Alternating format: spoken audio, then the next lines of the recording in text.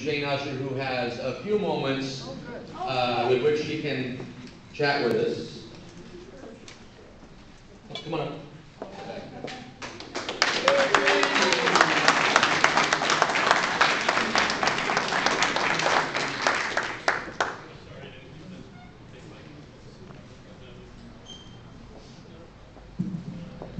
Neighbors, good afternoon. Let me see if I can adjust this. Maybe not.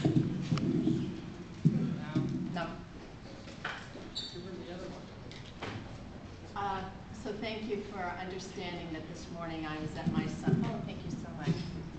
Uh, At my son's concert, which was really a, is a vocal concert at Harvard Westlake Upper School, which was really so magical. And I wish we all could have been there because it would give a, a lightness to our day that maybe it's lacking. It was really beautiful.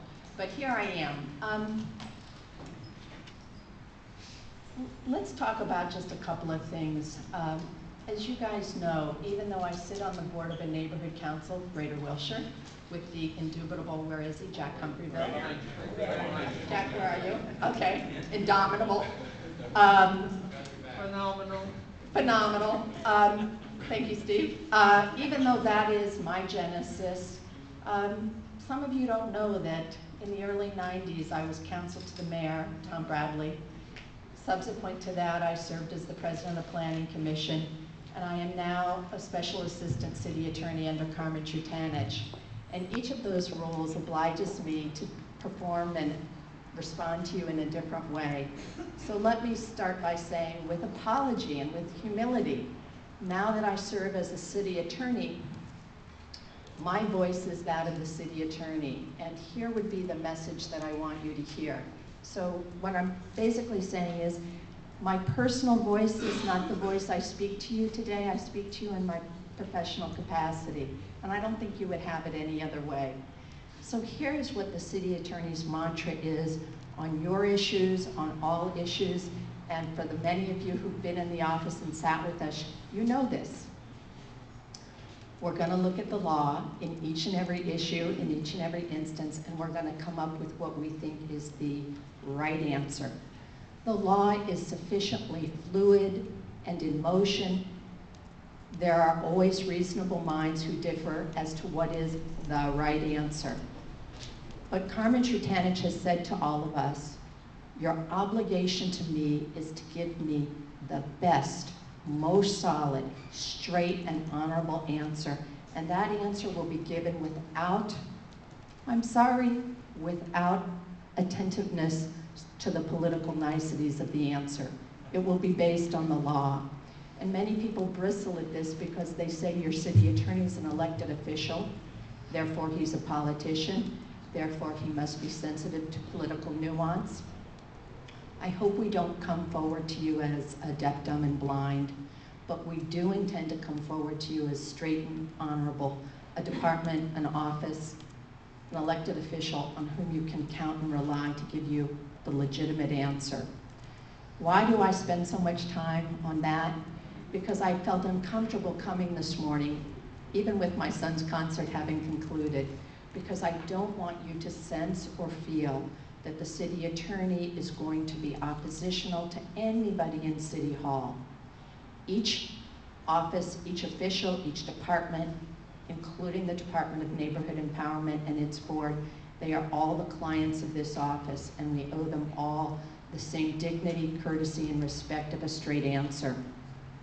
So if your sense or sensibility was that somehow the city attorney was going to become oppositional to another city office or department in sorting our way, navigating through this very complicated budget crisis, I can't provide that for you. What I can provide is the following. Uh, about, it may be more than two weeks ago, but approximately two weeks ago, the mayor's office and the city attorney's office began working through the complex legal issues that surround the mayor's uh, approach to, to DONE's uh, involvement in the budget solution. You knew that the first approach was, it came out publicly as something like, cut the department, cut its budget, cut its funding, potentially cut its elections. That was what was publicly reported. But if you can imagine for the moment, the mayor's office in conjunction with our office, taking a step back and looking at the legalities. So let's, let's talk about where those lie. And I've got a room of very smart people. You'll recite the charter sections better than I will. But you know that charter sections in the 900s create the Department of Neighborhood Empowerment, talk about its lifespan, its powers, its duties, and so forth. You know, although it probably pains us all to acknowledge this, that those charter sections do say that for the first five years of the department's existence, its powers and duties can't be transferred. But only for those first five years, and we are all past that milestone.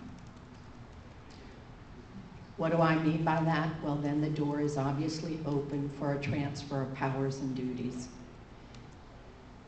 After you read the 900 sections, and I want you to look at as we are, the sections that talk about your budget, they're in the 900 sections as well.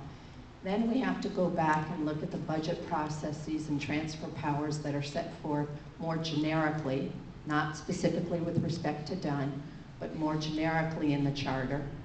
And you'll look at section 514, which talks about transfer. But read through also the budget process that the charter establishes. That's what we've done. The intention here, as much as it, it kills me to say it, is to find ways to, for whatever the mayor's questions are, he's a client.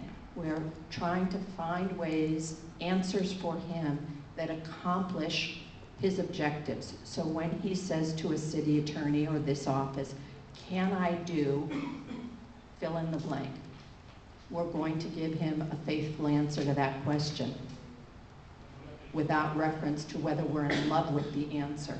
Everybody in agreement, we're all on the same page here? Um, because of my own personal background, uh, I'm a true believer.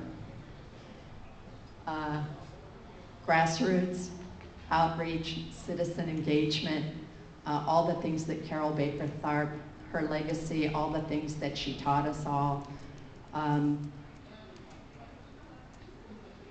whatever the outcome, because of the budget crisis, uh, I trust, I absolutely trust the people in this room to work together in a super smart way to keep the objectives that we were all involved in establishing and creating, to keep them marching forward at a very earnest and forthright pace. We cannot lose that. I mean, I have so many friends of so many years long standing in this audience. I'd be remiss if I said to you I didn't care deeply. I cared deeply about this. But the legal advice that the office is going to give, not only to the mayor's office, but to the Board of Neighborhood Commissioners, will be the same. And I cannot promise you that it will be pretty, but it will be honorable. I'm happy to entertain questions. So I'm stacking over here, show me your first. Thanks.